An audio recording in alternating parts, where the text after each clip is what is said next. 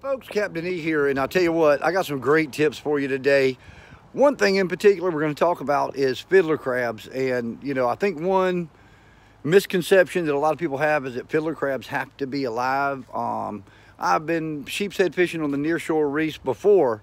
Fishing on the nearshore reefs was cool, and done it with frozen fiddler crabs for as long as I can tell.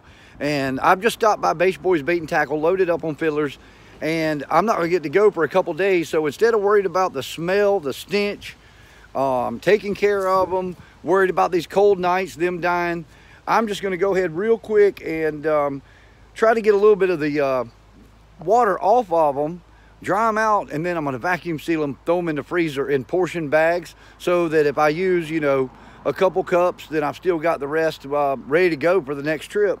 But real quick, I've got my K2 cooler here all set up. I've got uh, paper towels. I've lined the bottom.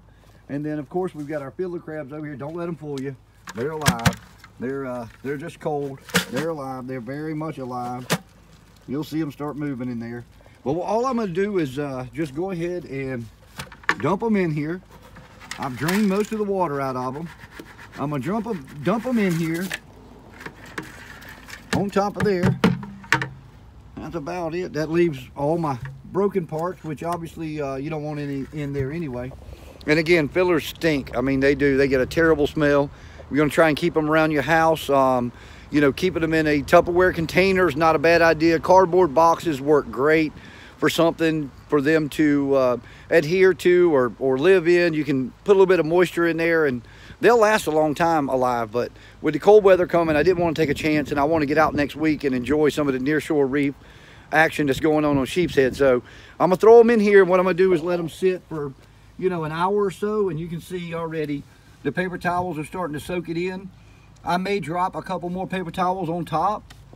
And then I'll just go through, grab them out, go over, crank up the vacuum sealer, seal them up. And I'm telling you, you know, you, you've seen a fiddler crab. It doesn't have a lot of action. It's not like it's jumping around out there.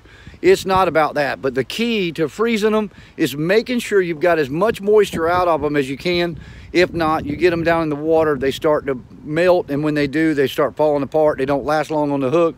And we all know a sheep's head can take a bait easily anyway. So trying to help make your day on the water better. And I'll tell you what, get on the nearshore reefs right now. Pawleys Reef, Three Mile Reef, um, down to Georgetown, the Davidson Reef, uh, North Inlet Reef, covered up with sheep's head right now, and they will be for the next couple weeks. So get out there and catch some big, big sheep's head if you want to.